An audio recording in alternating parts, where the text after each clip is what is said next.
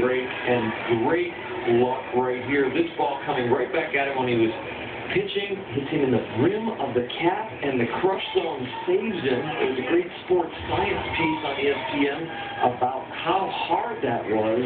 Ball. And that has become the lucky half. His sister has it there.